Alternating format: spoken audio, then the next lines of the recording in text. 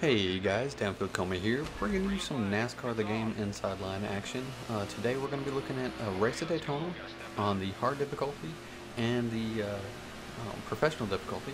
On the top is the hard, bottom is professional, and uh, both cars are uh, the same. There's no changes on either one of them. I'm playing with the standard Xbox 360 controller, so there's no wheel involved. There's there's nothing. This is really all I wanted was just to show you what the uh, challenges you'd have on, on either difficulty if you just jumped in and were, were playing. Now, uh, you're going to see that I'm dropping back dramatically on the professional difficulty. I'm already uh, over a second behind, while on the hard difficulty, I'm right there, uh, what, two tenths, three tenths behind, and I believe I'm starting to pick up some positions here, and you know, we'll we'll move ahead, actually passing cars on the track instead of just through pit stops, as I do on the professional difficulty. Now, I do end up finishing in, I believe, 12th on the professional difficulty and 14th on the hard um, difficulty. So I do fare better on the professional, though it's just because of uh, pit stops that the AI drivers take. Now, um, really just wanted to sit down and just talk to everybody and tell everybody what up, what's been going on, why I haven't been on YouTube, and uh, what is happening on uh, in, in the future for the channel and, and what I hope to see going on in the future. So first off, um, as anybody who's been watching my channel knows, uh, I got married a couple years ago, and last year we found out and, and were blessed with a uh, uh, a baby being born. And uh, well, I guess it was, it was this current year, um, the uh, 2014 um, in March when he was born, and um, as anybody with, with children could tell you or, or knows that um, the majority of my time has been taken up with taking care of him.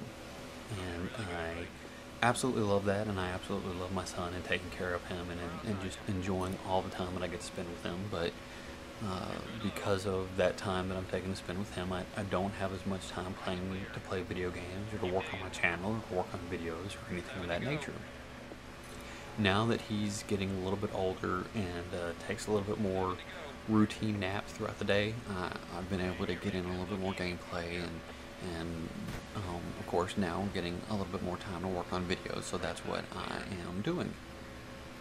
So that's been the, the biggest thing that has changed and the biggest thing that has been taking up the majority of my time this past year.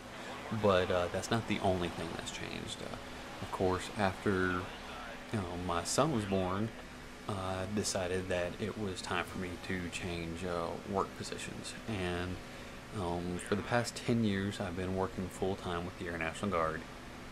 And this year, I decided that I wanted to start working on some things that were going to help me in the future with my career. So I moved, and I'm now working in the IT department at the local hospital, or one of the local hospitals.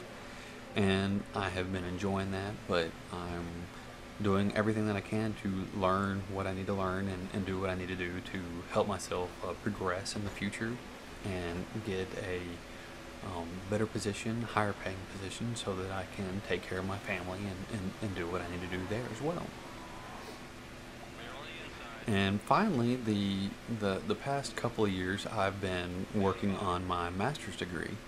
And for the past year, that's been particularly uh, interesting and difficult. Some of the classes have been more advanced level courses and, um, you know, uh, higher management pro- programming classes and, and project management classes and, and things of that nature. And um, and it's it's all working towards um, getting an IT uh, master's uh, specializing in programming and, and project management. So uh, hopefully that uh, in the future, once I get done with that, I'll I'll be able to find a position that I'll be able to utilize that degree in the the best way possible. But those are the things that have really been um, taking up a lot of the time uh, that I would normally have been spending time playing video games. That's what I've been doing. Now, instead of doing all that this year, uh, um, well, instead of playing video games and doing all that this year, I've, I've been focused on, on getting all those things taken care of. But this year, uh, I've got a little bit of extra time because I, I am starting to wrap up my master's program. But like I said before, with um, our son, he's taking a little bit more normalized scheduled naps uh, throughout the day, and I'll be able to really sit down and work on some things while he's taking those naps and, and doing those things. So I'm, I'm really looking forward to some of the different things that I've got coming for, for you guys.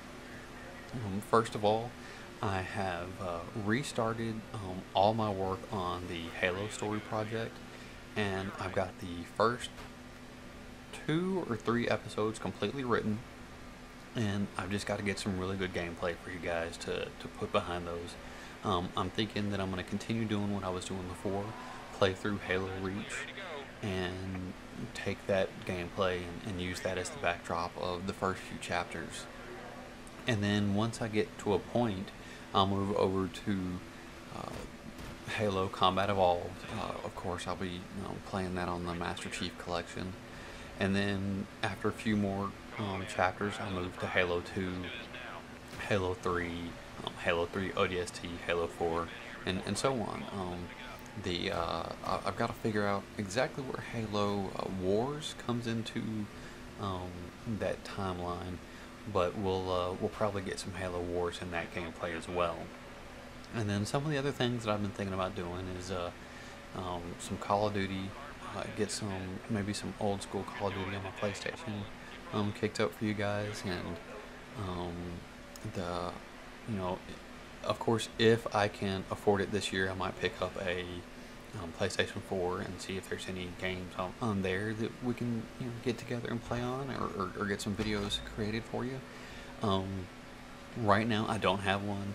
Uh, there's just not any real particular games that are, are, are exclusive to the PlayStation that I'm really, really excited about.